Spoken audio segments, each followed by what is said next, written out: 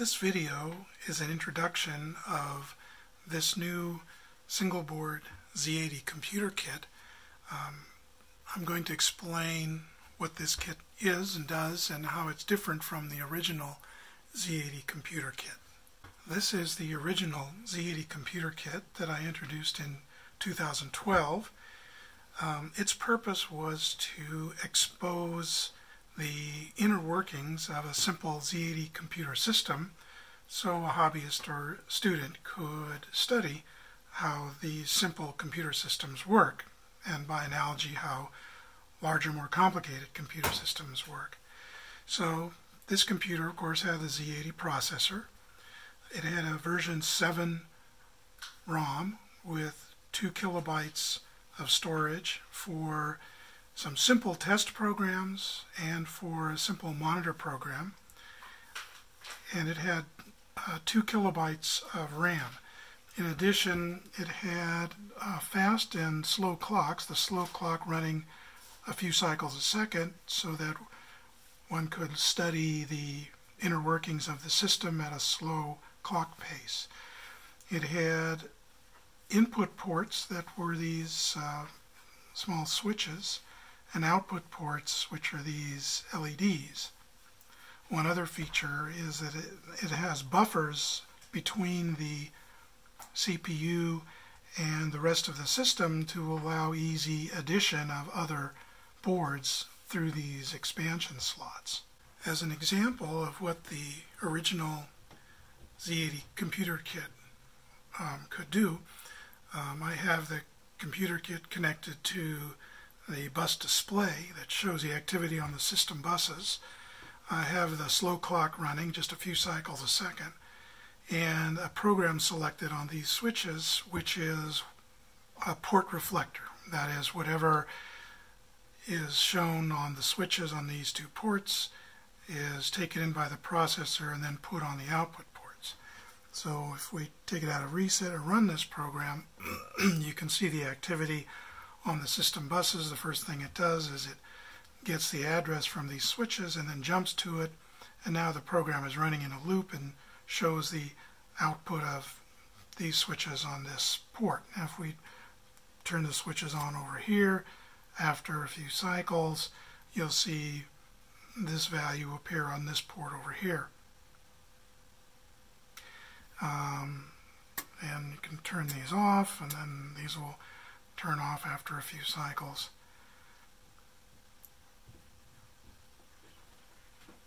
So the original kit was meant to expose to the student or hobbyist all the details of the Z80 computer system uh, at a slow clock rate so you could investigate and see what was going on. Another expansion board for the original Z80 computer is this simple serial port. This allows you to connect the computer through a serial cable to a dumb terminal or to a PC running a terminal emulation program so that you can enter data into the RAM of the Z80 computer through a keyboard. Um, there is a monitor program in the version 7 ROM at address 04C0 that allows you to use the serial port to do this and you can even load binary files of programs into the computer and uh, run them. Uh, this runs on the fast clock so when you turn it on you don't see anything going on because it's fast of course. Um, you can still use the output ports to display data uh, in programs if you want to. Here's an example of the Z80 computer with the serial interface running the monitor program. Uh, there's the greeting message and this is a list of the commands. Notice there are no commands for running the disk drives or for loading and running CP/M. The final expansion of the original CPUville Z80 computer adds a disk and memory expansion board that allows you to run the CP/M operating system. CP/M was the first commercially successful operating system and ran on the original 8-bit microcomputers based on the Altair design and was in use up until the 1980s when the 16-bit computers and operating systems like MS-DOS made it obsolete. However, it's still a valuable operating system for hobbyist and student computers. So the disk and memory expansion board is here. It has a slot for a disk drive. It has 64 kilobytes of RAM to allow you to run CP/M because it needs much more than the 2 kilobytes that's available on the original computer, and an upgraded ROM that has software in it that allows you to run the disk and the CP/M system. This computer allowed for decoding of up to 4K of RAM and ROM, a memory space of 4K, but then it would wrap around. So one address higher than 4K would go back to location 0. So in order to allow this 64K of RAM to be accessed by the processor, one has to disable the memory decoding and hence the memory on the original computer. In addition, the original computer, the decoding for the input-output ports allowed for four ports. There were two ports here, uh, 0 and 1, both input and output, and two ports on the uh, serial interface for status and data for the serial port. However, for the upgraded uh, disk and memory expansion, six, at least six port, ports for the system are required.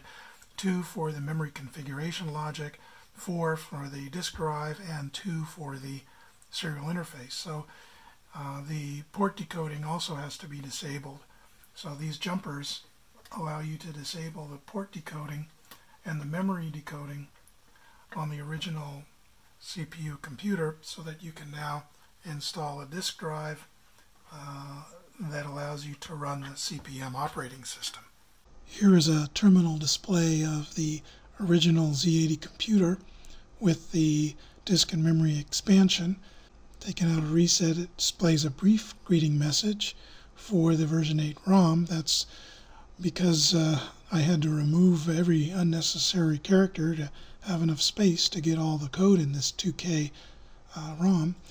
Um, there's a list of the commands that are available in the monitor program. You'll notice at the end of the list disk read, disk write, and CP/M commands to operate the disk and start CP/M. And entering the CP/M command, you get the A prompt of CP/M, and then you can ask the disk to do a directory display. And this disk has just a couple of files on it, but it shows that CP/M is working on the computer now after disabling the memory decoding and the input output port decoding on the original board, the only parts of this computer that are now active are the fast clock. The slow clock is active, but of course you can't run CP/M on the slow clock. The CPU itself and the buffers that surround the CPU. The memory and the ports and the LEDs are inactive.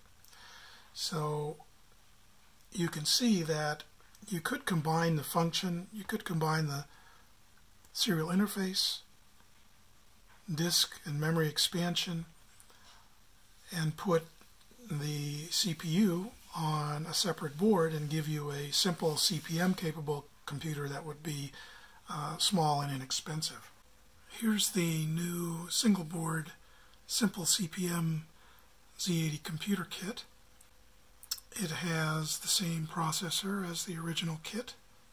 The processor in this kit is not buffered, so it wasn't necessary because the whole system is contained on one board and removing the buffers gives more space on the board and allows for a less expensive kit. It has 2K ROM. Here's the version 8 ROM, the same ROM that is used in the original kit with the disk and memory expansion and the 64K RAM with the uh, memory configuration control logic.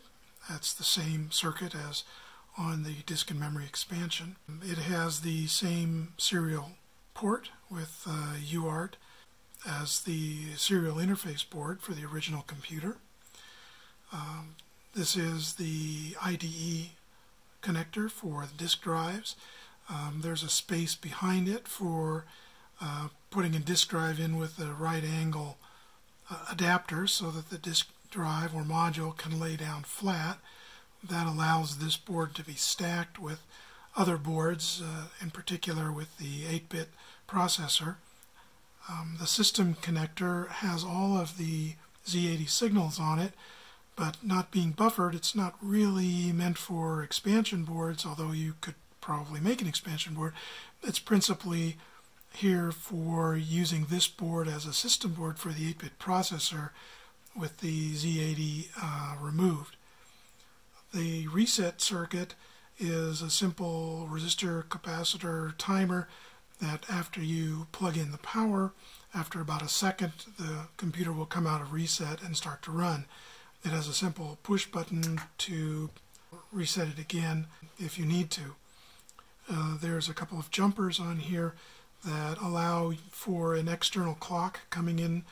That's a CPU clock coming in from the system connector and an external reset coming in from the system connector. That's also for um, when this is used as the system board for the 8-bit processor and the reset buttons will be on the top and uh, it has single step uh, and slow clocks for use on that system.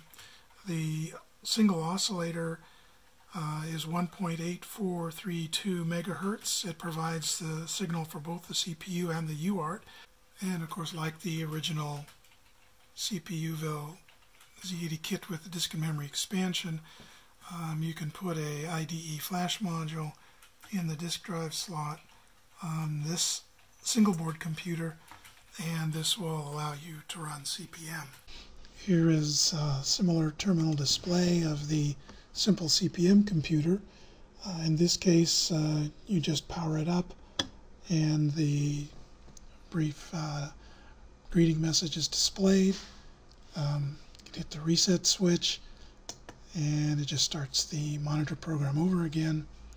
Uh, you can display a list of the available commands, which are the same as you saw before and can run CP/M uh, with the uh, CP/M prompt and list the disk directory and see the same files. So functionally, it's almost exactly the same as the original computer with the disk and memory expansion. The difference is that there's no reset switch. There's just a reset button, and when you plug it in, it automatically comes out of reset and starts running. This concludes the comparison of the original CPUville Z80 kit with the disk and memory expansion and the new single board Z80 simple CP/M computer kit. Um, this kit has the functionality of this plus this plus this on a single board. And for those who would like to build a kit that just goes directly to running a CP/M capable computer, this would be your choice. If you're interested in the details of how a simple microcomputer system works, then the original kit may be more suited. This is Donn Stewart. Thanks for watching.